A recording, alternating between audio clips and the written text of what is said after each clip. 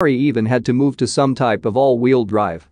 To reach the 1000 horsepower number, Ferrari had to add three electric engines to the Ferrari SF90 Stradale.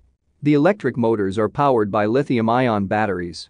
Together they total 216 horsepower. One of the three has a special functionality and is located in the back of the car. It takes the role as a motor-generated unit kinetic and is located in the back in the car next to the V8 engine. Motor-generated unit kinetic is used to convert braking power back to electricity to charge the lithium-ion batteries. It is used both as an electric generator and motor. Connected directly to the crankshaft of the petrol motor, it takes the functionality of charging the batteries and adding extra power when the combustion motor needs to accelerate.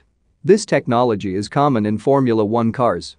Besides the extra power it removes the need for a starter motor on Formula One cars, removing weight and complexity from the engine.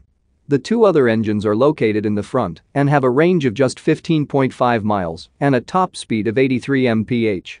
The motors help too. The exterior of the Ferrari SF90 Stradale has been designed by Flavio Manzoni and his team. It is very much based on recent Ferrari supercars. We find the looks very aggressive, mainly because of the short rear end of the car this has been done on purpose and was a requirement because of the weight distribution of the car. The cockpit has also been moved more to the front for the same reason.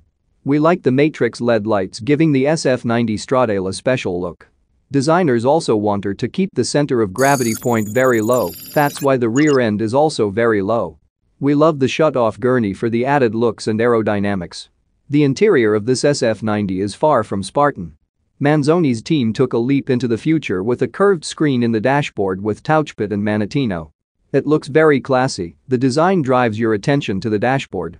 The instrument panel is fully digital and encompassed by a 16-inch screen. The steering wheel